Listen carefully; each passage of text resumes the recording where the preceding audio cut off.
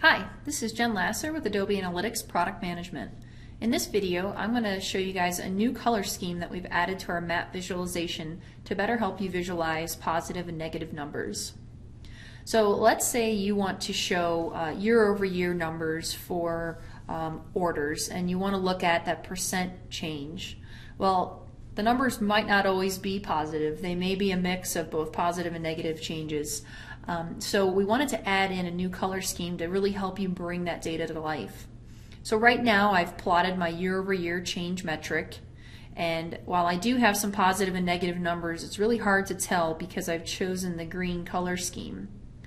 Now you can go to the gear and choose a different color theme of positive and negative right away you'll see a, a, much better visualization of green versus red for positive versus negative numbers and it's much clearer to see kind of the story that is being told through the data. The, the green and the red can actually be flip-flopped if you want negative numbers to be uh, a good thing. Um, the, the colors will be based on the polarity of the metric you've built.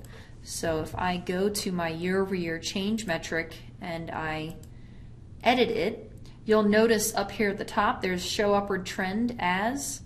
Good is green, bad is red. So you can just flip that if you'd like, and that will change the polarity of the, the color um, within the map.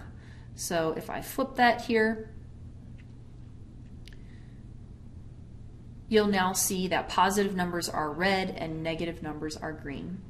So hope you guys get a lot of use out of this new positive negative color scheme.